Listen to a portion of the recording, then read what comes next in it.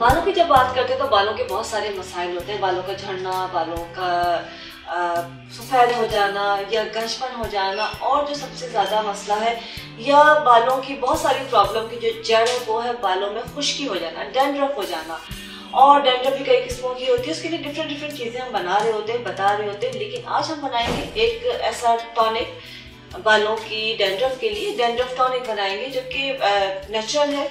और उसको लगाने से कुछ ही दिनों में बालों की जो डैंड्रफ है, सर की जो डैंड्रफ है, वो ख़त्म हो जाती है। उसके लिए जो है हमें चुकंदर चाहिए। चुकंदर साबुत चुकंदर, पत्तों के साथ। पत्ते होना बहुत ज़रूरी है। चुकंदर एक दरमियाने साइज़ का चुकंदर ले लीजिए। और पत्तों के साथ उस चुकंदर को बारीक बारीक काट के एक से डेढ़ गिलास पानी में डाल के उसको पका लीजिए। अच्छी तरह जब वो पक जाएगी, वो थोड़ा सा सॉफ्ट हो जाए तो उस पानी को आप छान लीजिए। वो पानी आप किसी बॉटल में भर लीजिए और उस पानी को स्प्रे आपने करना है बालों की जड़ों के अंदर। अच्छी तरह से पूरे बालों की जड़ों में उसको लगा लीजिए थोड़ा सा मसाज कीजिए और आधे घंटे के लिए छोड़ दीजिए। आधे घंटे आधे घंटे के बाद अपना शैम्पू कर लीजिए।